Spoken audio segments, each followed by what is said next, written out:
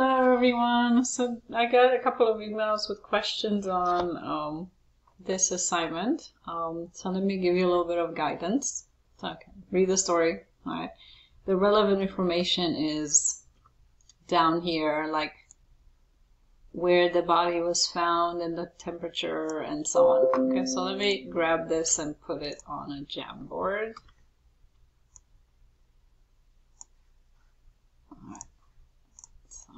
Get this a bit bigger. Let's see if I can move this around a bit. Okay.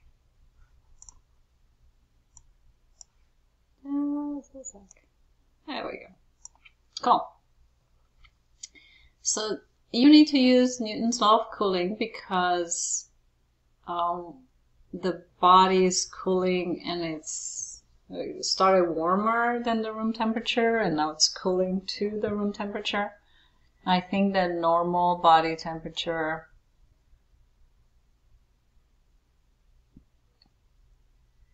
is like 98.6 degrees Fahrenheit. Um, let's see. Normal body temperature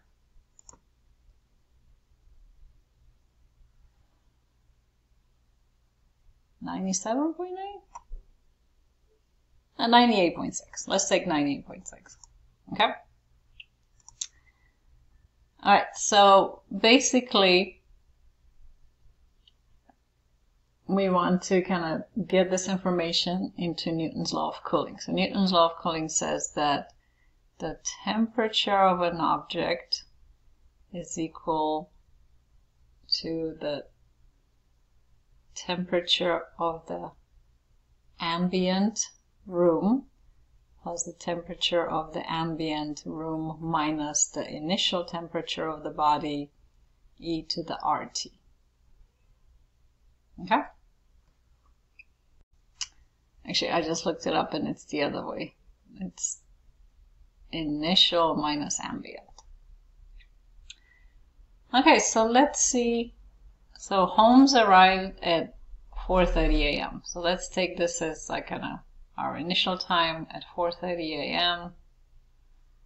Um, the room was warm and stuffy and let's see, the temperature of the body was 88 degrees. So the temperature was 88 degrees. Right. At, uh, so that's going to be the initial temperature of the body right? And we learned that the room is 76 degrees, so that's the ambient temperature. So basically you want to plug that into there. So you go, uh, and this 4.30 a.m., let's just make it, let's say this is time equal to zero. That's, that's kind of the initial time that the investigation started, okay? So we're going to have the temperature with respect to time is the ambient temperature plus initial minus the ambient e to the RT. Alright, so the temperature is going to be 76 plus 88 minus 76 is 12 e to the RT. Okay, so this kind of gives us our starting equation.